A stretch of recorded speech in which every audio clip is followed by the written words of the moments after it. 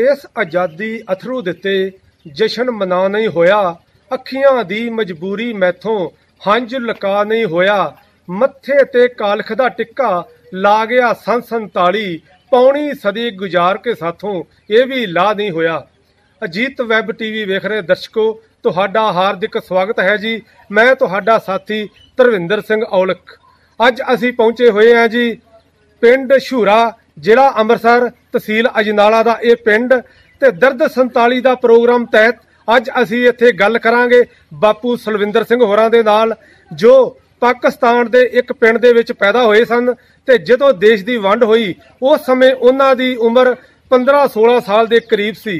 ਅਸੀਂ ਉਹਨਾਂ ਕੋਲ ਜਦੋਂ ਜਾਣਾਂਗੇ, ਉਹਨਾਂ ਦਾ ਉੱਥੇ ਬਚਪਨ, ਉਹਨਾਂ ਦਾ ਜਵਾਨੀ ਕਿਹੋ ਜਿਹੀ ਸੀ ਉੱਥੇ ਉੱਥੇ ਰਹਿਣ ਸਹਿਣ ਕਿਹੋ ਜਿਹਾ ਸੀ ਤੇ ਉਸ ਆਜ਼ਾਦੀ ਦੀ ਵੰਡ ਦੇ ਵਿੱਚ ਉਹਨਾਂ ਨੂੰ ਕਿਹੋ ਜਿਹਾ ਦੁਖਾਂਤ ਹੰਡਾਉਣਾ ਪਿਆ, ਕੀ ਕੁਝ ਵੇਖਿਆ, ਕਿਸ ਢੰਗ ਦੇ ਨਾਲ ਉਹ ਹਿੰਦੁਸਤਾਨ ਦੇ ਵਿੱਚ ਦਾਖਲ ਹੋਏ ਤੇ ਆਪਣੇ ਆਪ ਨੂੰ ਸਥਿਰ ਕੀਤਾ।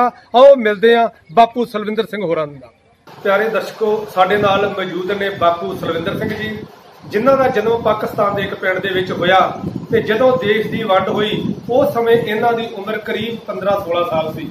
ਅਸੀਂ ਇਹਨਾਂ ਕੋਲੋਂ ਜਾਣਾਂਗੇ, ਉਸ ਵੰਡ ਸਮੇਂ ਇਹਨਾਂ ਨੂੰ ਕਿਹੋ ਜਿਹਾ ਦੁਖਾਂਤ ਹੰਡਾਉਣਾ ਪਿਆ ਕਿਹੋ ਜਿਹੇ ਉਹ ਦਿਨ ਸਨ ਉਹ ਸਾਰਾ ਬਾਪੂ ਜੀ ਕੋਲੋਂ ਜਾਣਾਂਗੇ। ਬਾਪੂ ਜੀ ਅਜੀਤ ਵੈਬ ਟੀਵੀ ਵੱਲੋਂ ਤੁਹਾਡਾ ਸਵਾਗਤ ਹੈ ਜੀ। ਜੈ ਜੈ ਸਾਹਿਬ ਜੀ। ਧੰਨਵਾਦ। ਤੇ ਬਾਪੂ ਜੀ ਉੱਥੇ ਪਾਕਿਸਤਾਨ ਦੇ ਵਿੱਚ ਤੁਹਾਡਾ ਕਿਹੜਾ ਪਿੰਡ ਸੀ? ਜਗੈਜ। ਇਹ ਜਿਹੜਾ ਕਿਹੜਾ ਪੈਂਦਾ ਜੀ? ਜ਼ਿਲ੍ਹਾ ਲਾਹੌਰ ਤੇ ਉਸ ਪਿੰਡ ਦੇ ਵਿੱਚ ਕਿਹੜੀਆਂ ਕਿਹੜੀਆਂ ਜਾਤਾਂ ਧਰਮਾਂ ਦੇ ਲੋਕ ਰਹਿੰਦੇ ਸੀ? ਮੁਸਲਮਾਨ ਮਜਬੀ ਈਸਾਈ ਜੱਟ ਤੇ ਬੰਮ ਹੈਗੇ ਅੱਛਾ ਜੀ। ਹਾਂ। ਤੇ ਕਿੰਨੇ ਕੁ ਘਰ ਹੁੰਦੇ ਸੀ ਸਾਰੇ ਉਹ ਪਿੰਡ ਦੇ? ਪਿੰਡ ਬੜਾ ਤੇਰਾ ਜੱਟ ਪਿੰਡ ਸੀ ਤਾਂ ਬਹੁਤ ਵੱਡਾ ਪਿੰਡ ਸੀ। ਅੱਛਾ। ਤੇ ਤੁਹਾਡੇ ਉੱਥੇ ਦੋਸਤ ਕਿਹੜੇ ਕਿਹੜੇ ਹੁੰਦੇ ਸੀ?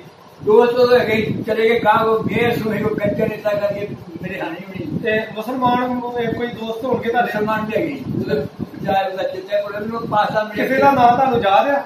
ਨਾਮ ਨੂੰ ਯਾਦ ਹੈ ਤੇ। ਅੱਛਾ ਕਿਹੜੇ ਮੁਸਲਮਾਨ ਤੁਹਾਡੇ ਕਿਹੜੇ ਦੋਸਤ ਹੁੰਦੇ ਸੀ? ਵੇਖਣਾ ਹੈਗਾ ਜੀ ਦੱਜੂ ਵੇਖਣਾ ਹੈਗਾ ਜੀ। ਮਕਬਦੀ ਜਿੱਥੇ ਕਰੇ ਮੁਸਲਮਾਨ ਤੋਂ ਜਦ ਸਾਰੇ ਚੱਲਦਾ ਅੱਛਾ। ਦੁਆ ਸੀ ਦੁਆ ਵੀ ਬੜਾ ਬੜੀ ਸਾਡੇ ਪਿੰਡ ਦੇ ਜੰਦੇ ਬਹੁਤ ਮਸ਼ਹੂਰ ਸੀ। ਅੱਛਾ ਜੀ। ਹਾਂ। ਤੇ ਤੁਹਾਡਾ ਉੱਥੇ ਕੰਮਕਾਰ ਕੀ ਹੁੰਦਾ ਸੀ? ਤੁਹਾਡੇ ਜਿਹੜੇ ਪਰਿਵਾਰ ਦਾ? ਸਾਡੇ ਪਰਿਵਾਰ ਦਾ ਵਾਈ ਕਰਦੇ। ਅੱਛਾ। ਕਿੰਨੀ ਕੁ ਜ਼ਮੀਨ ਹੁੰਦੀ ਸੀ ਤੁਹਾਡੇ ਕੋਲ ਉੱਥੇ? ਜ਼ਮੀਨ ਉੱਥੇ ਹੈਗੀ ਸਾਡੇ ਕੋਲ ਸਾਰੀ ਪਾ ਲਾ ਕੇ 15 20 ਦੇ ਤੇ ਘਰ ਤੁਹਾਡਾ ਉੱਥੇ ਕਿਹੋ ਜਿਹਾ ਹੁੰਦਾ ਸੀ? ਪੱਕੇ ਸਾਡੇ ਕੋਲ। ਸੀ ਅੱਛਾ ਬਿਲਕੁਲ। ਤੁਹਾਡੇ ਪਿੰਡ ਦੇ ਲਾਗੇ ਹੋਰ ਕਿਹੜੇ ਕਿਹੜੇ ਪਿੰਡ ਸੀ? ਹੋਰ ਸਾਡੇ ਘਰ ਸੀ ਜਾਂਦਾ ਗਿਆ ਆਪਣੇ ਤੇਰੇ ਉਹ ਬੜੀ ਸਾਡੇ ਬਣੇ ਤੇ ਕੀ ਫੇਰੀ ਨੇ ਆ ਬਲੂ ਕਬਲੂ ਸੋਣਾ ਜਿਹੜਾ ਹੈ ਬਣੇ ਘਰ ਸਾਡਾ ਹੈ ਬਣੇ। ਦੂਜੇ ਬੰਦੇ ਅਗਲੇ ਬਣੇ ਹੈਗਾ ਮਾਰ ਚੋਰੀ ਕਿਡਨੀ ਉਹਦਾ ਬੜਾ ਹੈ ਤਾਂ ਕਰਕੇ ਸਰਦਾ ਹੂੰ। ਅੱਗੇ ਉਹ ਪਰਿਤਾਰ ਦੇ ਮੁੰਡੇ ਲੋਕ ਸਾਰੇ ਸਾਡੇ ਸਕੇ ਹੋਏ। ਸਨ ਤੇ ਅਸੀਂ ਪਿੰਡ ਤੁਹਾਡੇ ਲਾਗੇ ਕਿਹੜੇ ਕਿਹੜੇ ਸੀ ਪਿੰਡਾਂ ਦੀ ਗੱਲ ਕਰ ਰਹੇ ਜੇ ਪਿੰਡਾਂ ਦੇ ਨਾਮ ਸਾਡੇ ਤੁਹਾਡੇ ਪਿੰਡ ਦੇ ਨਾਲ ਦਾ ਹੀ ਵਾਗੜੀਆਂ। ਅੱਛਾ ਜੀ। ਉਹਦੇ ਵਿੱਚ ਬਾਜ਼ਾਰ ਚ ਮੈਂ ਆਪਣੇ ਸਾਡਾ ਪਿੰਡ ਹੈ ਆਪਣੇ ਹੁੰਦਾ ਉਹਨੂੰ ਅੱਗੇ ਛੱਡ ਕੇ ਪਰਨਾ ਪਰਨਾਮ ਛੱਡ ਕੇ ਤੇ ਵਸੀਰ ਉਹਦੇ ਪਰੇ ਜ- ਜੰਡਿਆਲਾ ਤੇ ਪਰੇ ਕਿਤਾ ਕਰੇ ਵਾਹ ਪਿੰਡੀ ਮੁਸਲਮਾਨ ਦੇ ਪਿੰਡ ਬਣੀ। ਉਹ ਤੇ ਮੁਸਲਮਾਨ ਵੀ ਪਏ ਸੀ। ਸਾਡਾ ਪਿੰਡ ਸਾਰਾ ਵਸੀਰ ਸਾਰਾ ਗਿਆ ਸੀ। ਮੋੜ ਸਾਡੇ ਪਿੰਡ ਹੋ ਜਾਣੀ ਜਿਹਨਾਂ ਫਿਰ ਹਮਲਾ ਕਰਨਗੇ ਲੋਕਾਂ ਦੇ ਸਾਰੇ ਛੱਡ ਕੇ ਜਾਣਗੇ ਹਾਂ ਤੁਹਾਡੇ ਪਿੰਡ ਵਿੱਚ ਸਕੂਲ ਵੀ ਹੈਗਾ ਸੀ ਕੋਈ? ਸਕੂਲ ਵੀ ਹੈਗਾ। ਤੇ ਤੁਹਾਨੂੰ ਸਕੂਲ ਦੇ ਵਿੱਚ ਪੜ੍ਹਨ ਦਾ ਮੌਕਾ ਮਿਲਿਆ? ਨਹੀਂ ਅਸੀਂ ਵਸੀਰ ਗਏ ਪੜ੍ਹਨ। ਅੱਛਾ। ਸਾਡੇ ਪਿੰਡ ਇੱਕ ਸਕੂਲ ਸੀ ਤਰ੍ਹਾਂ ਚੌਂਕ ਵਿੱਚ ਜਮਾਤ ਅੱਛਾ ਹਾਂ। ਤੇ ਕਿੰਨੀਆਂ ਜਮਾਤਾਂ ਪੜ੍ਹੀਆਂ ਤੁਸੀਂ ਫਿਰ? ਕੋਈ। ਤੇ ਗਾਂ ਕਿਉਂ ਨਹੀਂ ਪੜ੍ਹੇ ਫਿਰ? ਮੇਰੇ ਤੋਂ ਵੱਡੇ ਦੋ ਜਾਦੇ ਪੜਨ ਅੱਛਾ। ਜਿਹੜਾ ਸਾਡੇ ਤੋਂ ਸਾਡੇ ਵੱਡਾ ਹੈ ਸਾਡੇ ਭਰਾ ਵੱਡਾ ਜੈ ਨਾਲ ਹੈ। ਕੋਚ ਕੇ ਦਸੋਂ ਭੱਜਿਆ ਗੁਰੂ ਲੈਣ ਮਟਣਾ ਕਰਿਓ ਜੇ ਤੁਸੀਂ ਭੱਜਿਆ ਨਾ ਤੇ ਤੁਸੀਂ ਲੈਣ ਗਏ ਤੈਨੂੰ ਕੁੜੀ ਜਾ ਭਰਾ ਕੇ ਲਿਆ। ਉਹ ਆਖੇ ਮੈਂ ਜਾਣਾ ਸਾਡਾ ਦਾਦਾ ਤੈਨੂੰ ਕੋਟਾ ਹੈ ਸਕੂਲੇ ਜਾ ਤੂੰ ਕੋਟ ਪੈ ਜਾਂਦਾ ਤੂੰ ਵੀ ਨਾ ਜਾ। ਤੇ ਮੈਂ ਕਿਹਾ ਉਹਦਾ ਤੂੰ ਵੀ ਨਾ ਜਾ। ਫਿਰ ਕਾਦੇ ਸਾਡੇ ਅੱਛਾ ਅੱਛਾ। ਅੱਛਾ ਬਾਪੂ ਜੀ ਜਿਵੇਂ ਹੁਣ ਸਾਡੀਆਂ ਜਿਹੜੀਆਂ ਖੇਡਾਂ ਵਾ ਲੋਕ ਕ੍ਰਿਕਟ ਦੇ ਬਹੁਤ ਦੀਵਾਨੇ ਆ। ਤੇ ਤੁਹਾਡੀਆਂ ਜਿਹੜੀਆਂ ਉਸ ਸਮੇਂ ਦੇ ਵਿੱਚ ਖੇਡਾਂ ਕੁਝ ਹੋਰ ਹੁੰਦੀਆਂ ਸੀ ਤੁਹਾਡੀਆਂ ਕਿਹੜੀਆਂ ਖੇਡਾਂ ਸੀ ਕੀ ਖੇਡਦੇ ਹੁੰਦੇ ਸੀ ਆਪਣੇ ਨਾਲ ਨਾਲ ਖੇਡੋ ਅੱਛਾ ਜੀ ਤੇ ਆਪਣਾ ਗੁਰੀ ਡੰਡੀ ਬਸ ਦੋਵੇਂ ਖੇਡਾਂ ਅੱਛਾ। ਜਾਂ ਲੋਕਾਂ ਨੂੰ ਮੈਂ ਯਾਦ ਤੇ ਜਿਹੜੇ ਮੁਸਲਮਾਨ ਪਰਿਵਾਰ ਸੀ ਉੱਥੇ ਤੁਹਾਡੇ ਪਿੰਡ ਦੇ ਵਿੱਚ ਰਹਿੰਦੇ। ਉਹਨਾਂ ਦੇ ਨਾਲ ਤੁਹਾਡਾ ਵਰਤੋਂ ਵਿਆਹ ਕਿਹੋ ਜਿਹਾ ਬੜਾ? ਸੋਹਣਾ ਪੜਦਾ ਹੈ ਬੜਾ ਸੋਹਣਾ। ਅਜੇ ਉਹ ਗਏ ਹੋਏ ਅਜੇ ਤੱਕ ਯਾਦ ਕਰਦੇ ਨੇ ਹੂੰ। ਤੇ ਬਾਪੂ ਜੀ ਜਦੋਂ ਜਿਵੇਂ ਹੁਣ ਸਾਡੇ ਕੋਲ ਸੂਚਨਾ ਦੇ ਬੜੇ ਪ੍ਰਬੰਧ ਆ ਮੋਬਾਈਲ ਦੇ ਉੱਤੇ ਸਾਰੀ ਜਾਣਕਾਰੀ ਆ ਜਾਂਦੀ ਆ ਅਖਬਾਰਾਂ। ਸਾਡੇ ਕੋਲ ਟੀਵੀ ਦੇ ਵਿੱਚ ਨਾਲੋਂ ਨਾਲ ਸਾਰੀ ਜਾਣਕਾਰੀ ਜਿਹੜੀ ਆਈ ਜਾ ਰਹੀ ਆ ਤੇ ਉਸ ਸਮੇਂ ਇੰਨੇ ਜਿਹੜਾ ਕੋਈ ਸਿਸਟਮ ਨਹੀਂ ਸੀ ਹੈਗਾ ਕੋਈ ਇੰਨੇ ਪ੍ਰਬੰਧ ਨਹੀਂ ਸੀ ਨਾ ਕੋਈ ਪ੍ਰਬੰਧ ਤੇ। ਜਦੋਂ ਦੇਸ਼ ਦੀ ਵੰਡ ਦੀ ਗੱਲ ਤੁਰੀ ਤੁਹਾਨੂੰ ਫਿਰ ਕਿਵੇਂ ਪਤਾ ਲੱਗਾ ਵੀ ਦੇਸ਼ ਦੀ ਵੰਡ ਹੋ ਰਹੀ ਆ ਹਿੰਦੁਸਤਾਨ ਪਾਕਿਸਤਾਨ ਵੰਡਿਆ ਜਾ ਰਿਹਾ ਸਾਡਾ ਜਿਹੜਾ ਜਿਹੜਾ ਸੀ ਨਾ ਇਹ ਹੈਗਾ ਸੀ ਸਾਡਾ ਹਿੰਦੁਸਤਾਨ। ਤੇ ਉਧਰ ਪਾਕਿਸਤਾਨ ਦਾ ਸੀ ਗੁਰਦਾਸਪੁਰਾ ਇਹਨਾਂ ਫਿਰ ਵੰਡ ਕਰਨ ਗਿਆ ਸਾਡੇ ਆਖਿਆ ਵੀ ਸਾਡੀ ਵੰਡ ਹੋਈ ਆ ਤੇ ਸਾਨੂੰ ਗੁਰਦਾਸਪੁਰਾ ਉਹਨਾਂ ਨੂੰ ਮਿਲ ਗਿਆ ਸਾਨੂੰ ਡਰਾਜ ਲੰਗਰ ਆਪਣ ਕਸ਼ਮੀਰ ਨੂੰ। ਇਹਨਾਂ ਆਖਿਆ ਕਿ ਅਸੀਂ ਦੌੜ ਛੱਡਿਆ ਤੇ ਜਿਹੜਾ ਗੁਰਦਾਸਪੁਰਾ ਸਾਨੂੰ ਦੇ ਦਿਓ ਲਾਹੌਰ ਛੱਡ ਕੇ ਗੁਰਦਾਸਪੁਰ ਪਹਿਲੋਂ ਵੰਡ ਸਾਨੂੰ ਆਰਡਰ ਹੋਇਆ ਨਹੀਂ ਤੁਸੀਂ ਜਾਣਾ। ਮੈਨੂੰ। ਤੇ ਮੁੜ ਕੇ ਸਾਨੂੰ ਗਿਆ ਵੀ ਤੁਸੀਂ ਨਿਕਲ ਜਾਓ ਤੁਸੀਂ ਤੁਹਾਨੂੰ ਛੱਡਣਾ ਨਹੀਂ। ਸਾਡੇ ਪਿੰਡ ਬਹੁਤ ਫੌਜ ਬੜੀ ਘੋੜੇ ਸਵਾਰ ਤੇ ਫੌਜ ਇੰਨੀ ਦੇ ਮੁਸਲਮਾਨ ਬਹੁਤ ਜ਼ਿਆਦਾ ਸਾਡੇ ਪਿੰਡ ਆਏ। ਇਹਨਾਂ ਸਾਡੇ ਪਿੰਡ ਦੇ ਸਰਕਾਰੇ ਨੇ ਛੱਡੇ ਫਿਰ ਉਹ ਸ਼ਾਹ ਭੱਜਦੇ ਉਹ ਜਦੋਂ ਸਾਲਾ ਆ ਗਿਆ। ਉਹਨਾਂ ਆਖਿਆ ਇੱਕ ਬੰਦਾ ਹੀ ਸਾਡੇ ਪਿੰਡ ਦਾ ਨੌਕਰ ਸੀ ਉਹਨਾਂ। ਉਹਦੇ ਨਾਲ ਮੈਨੂੰ ਆਂਦਾ ਤੈਨੂੰ ਸਿਖਾ ਕੇ ਮਾਰਦੇ ਤੁਸੀਂ ਨਾ ਜੰਮ ਸਾਡੇ ਤੂੰ ਪਿੰਡ ਪੱਲਾ ਫੇਰ ਸਭ ਨਿਕਲ ਜਾਓ ਪੱਲਾ ਫੇਰ ਤੱਕ ਨਿਕਲ ਜਾਓ। ਸਾਰੇ ਪਿੰਡ ਸਾਡੇ ਤਿੰਨੇ ਨਿਕਲ ਗਏ ਉੱਥੇ। ਤੂੰ ਫੇਰ ਆਣ ਪੈ ਤੇ ਬਾਰੀ ਹੂੰ। ਇਸ ਤਰ੍ਹਾਂ। ਤੇ ਉੱਥੇ ਜਦੋਂ ਤੁਸੀਂ ਆਪਣੇ ਘਰ-ਬਾਰ ਛੱਡੇ ਹਾਂਜੀ। ਉਦੋਂ ਫਿਰ ਕਿਹੋ ਜਿਹਾ ਸਮਾਨ ਕੀ ਕੁਝ ਜ਼ਰੂਰਤ ਦੀਆਂ ਚੀਜ਼ਾਂ ਨਾਲ ਲੈ ਕੇ ਸਮਾਨ ਗਏ? ਸੰਦ ਪਏ ਸਾਡੇ ਕੋਲ ਇੰਨਾ ਸਮਾਨ ਸਾਡੇ ਪਿਓਰ ਰੱਖਿਆ ਹੈ, ਖੰਡ ਸਾਰੇ ਕਪੜਾ ਬਾਂਧ ਕਪੜਾ ਲਿਆਦਾ ਬਣ ਰੱਖਿਆ ਹੈ, ਪੇਟੀਆਂ ਭਰੀਆਂ ਹੈ ਤੇ ਸਾਨੂੰ ਕੋਈ ਹੱਥ ਨਹੀਂ ਸਿਰਫ ਇੱਕ ਗਹਿਣਾ ਨਾ ਪਿਆ ਸੀ ਉਹ ਵੀ ਜਦੋਂ ਗਹਿਣਾ ਉਹ ਤੋੜਨੇ ਉਹ ਗਹਿਣਾ ਫੁੱਟਿਆ ਹੋ ਕੋਈ ਸ਼ੈਰੀ ਨਹੀਂ ਤੇ ਉਸ ਸਮੇਂ ਜਿਹੜੀ ਆ ਦੋਵੇਂ ਪਾਸੇ ਬੜੀ ਵੱਡੀ ਪੱਧਰ ਤੇ ਇਹ ਕਤਲੋਗਾਤ ਹੋਈ ਲੱਖਾਂ ਲੋਕਾਂ ਦਾ ਜਿਹੜਾ ਕਤਲ ਕੀਤਾ ਗਿਆ। ਦੋਵਾਂ ਫਿਰਕਿਆਂ ਵੱਲੋਂ। ਹਾਂ। ਤੇ ਤੁਸੀਂ ਵੀ ਕੋਈ ਇਹੋ ਜਿਹੀ ਕਤਲੋਗਾਤ ਦੀ ਘਟਨਾ ਆਪਣੇ ਹੱਥੀਂ ਅੱਖੀਂ ਵੇਖੀ ਹੋਵੇ ਜਾਂ। ਤੁਹਾਡੇ ਸਾਹਮਣੇ ਤੁਹਾਡੇ ਪਿੰਡ ਹੀ ਵਾਪਰੀ ਹੋਵੇ? ਅਸੀਂ ਸਾਡੇ ਪਿੰਡ ਸਿਰਫ ਉਹਨਾਂ ਕੋਈ ਵਾਪਸ ਨਹੀਂ ਉਹਨਾਂ ਮਾਰ ਨਹੀਂ ਸਾਡੇ ਪਿੰਡ ਦੇ। ਉਹ ਜਦੋਂ ਪਤਾ ਫਿਰ ਗਿਆ ਪਿੰਡ ਸਾਡੇ ਨਿਕਲਾਏ ਤੇ ਪਰੇ ਹੈਗਾ ਸੀ ਆਪਣਾ ਤਲਵਾੜਾ ਸੀ ਉਸੇ ਗਏ ਲੋਕ ਸਾਡੇ ਪਿੰਡ ਦੇ। ਤੇ ਉੱਥੇ ਜਾਂਦੇ ਫਿਰ ਉਹ ਉੱਥੇ ਅੱਗ ਲਾਤੀ ਉਹਨਾਂ। ਉਹ ਫਿਰ ਮੁੜ ਕੇ ਲੋਕ ਸਾਡੇ ਪਛਾਣ ਭੱਜ ਲਗੇ ਪਰ ਸਾਡੇ ਪਿੰਡ ਦੇ ਫੌਜ ਭੱਜੇ ਭੱਜੇ ਪਛਾਣ ਆਏ ਫਿਰ ਸਾਡੇ ਹੂੰ ਸਾਡੇ ਪਿੰਡ ਜਿਹੜੇ ਸਾਡਾ ਪਿਓ ਵੀ ਗਿਆ ਸੀ, ਸਾਡਾ ਭਰਾ ਵੀ ਗਿਆ ਜੀ ਅੱਛਾ। ਆ ਨਹੀਂ ਬੜੇ ਪਿੰਡ। ਉਹ ਆਣ ਕੇ ਰੋਣ ਚੋ ਆਖੇ ਤੁਸੀਂ ਫਿਰ ਕਿਉਂ ਪਤਾ ਕੇ ਜੇ ਤੇ ਸਾਰਾ ਪਰਿਵਾਰ ਹੀ ਪਤਾ ਕੀ ਮਾਰਤਾ। ਪਰ ਇਹ ਵੀ ਜਦੋਂ ਪੱਲਾ ਫੇਰਿਆ ਸਾਰਾ ਸਾਡਾ ਪਿੰਡ ਸਾਡਾ ਤਿੰਨੇ ਪਿੰਡ ਸਾਡੇ ਨਿਕਲੇ ਅੱਛਾ। ਆ ਬਿਲ- ਬਿਲਕੁਲ ਉੱਥੇ। ਉਹ ਫੇਰ ਪੈ ਦੁਬਾਰੇ ਟਿਕਾਲੀ। ਆ ਤੇ ਕਿਸੇ ਕਿਸਮ ਦੀ ਕਤਲੋਗਾਤ ਜਿਹੜੀ ਆ ਉਹ ਤੁਸੀਂ ਨਹੀਂ ਵੇਖੀ? ਉੱਥੇ ਨਹੀਂ ਵੇਖੀ ਨਾ ਉੱਥੇ ਹੋਈ ਕੋਈ।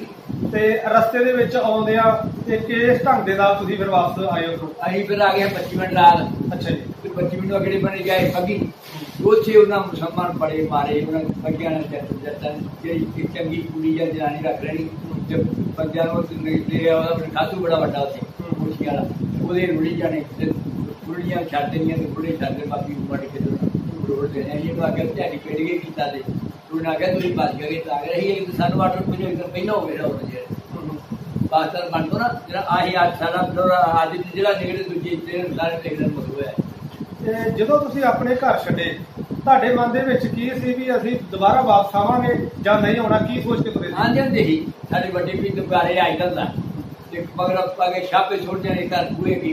ਤੇ ਕੋਈ ਨਹੀਂ ਆਉਂਦਾ, ਜਦੋਂ ਅਸੀਂ ਆਏ ਆ, ਲੋਕਾਂ ਦਾ ਦੱਸਿਆ ਵੀ ਤੁਹਾਡੇ ਉੱਪਰ ਹੋ ਗਈ, ਤੁਹਾਡੇ ਸਾਰੀ ਘਰ ਦੀ ਛੁੱਟੀ ਘੜੀ ਆ। ਵੀ ਨਾ ਕੋਈ ਸਮਾਨ ਬੜਾ।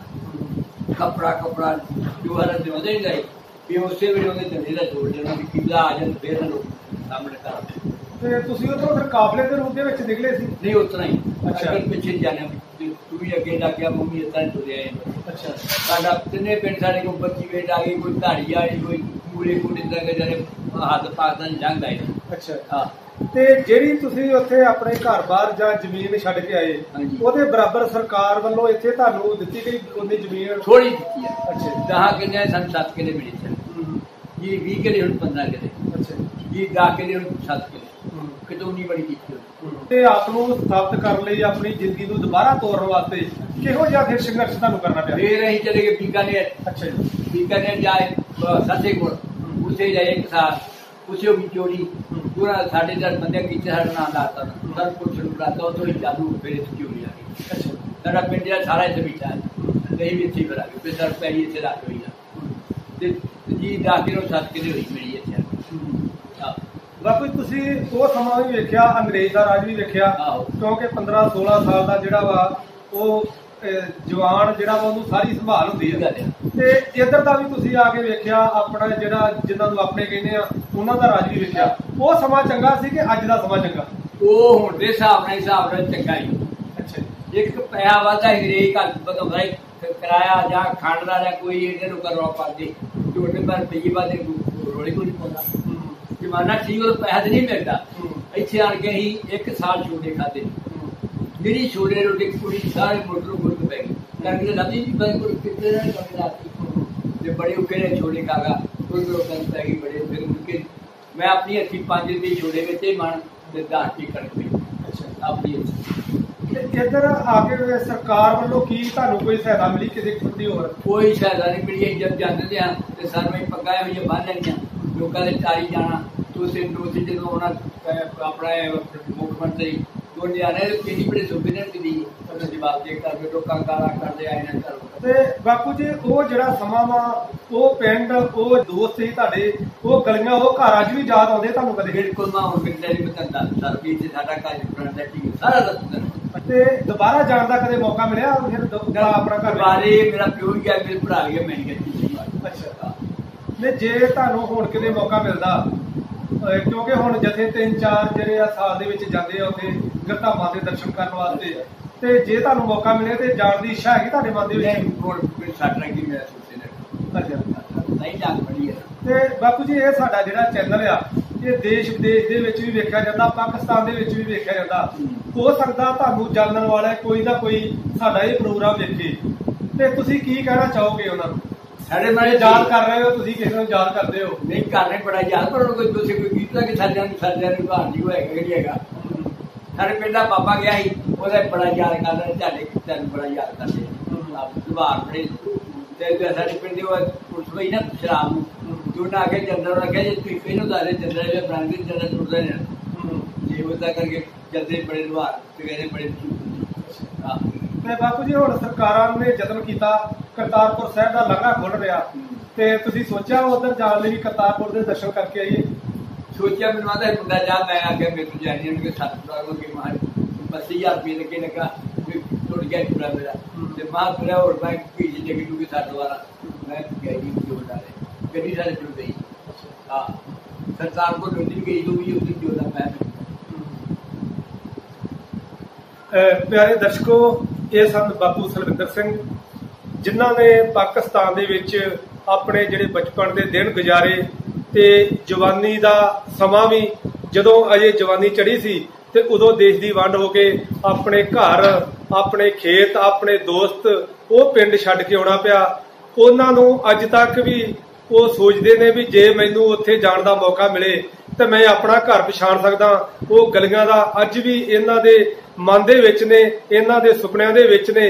ਤੇ ਬਹੁਤ ਸਾਰਾ ਦਰਦ ਇਹਨਾਂ ਨੇ ਹੰਢਾਇਆ, ਕਿਉਂਕਿ ਆਪਣਾ ਘਰ-ਬਾਰ ਛੱਡ ਕੇ ਉਹਨਾਂ ਦੇ ਬਰਾਬਰ ਉਹਨਾਂ ਨੂੰ ਇੱਥੇ ਜ਼ਮੀਨਾਂ ਨਹੀਂ ਮਿਲੀਆਂ।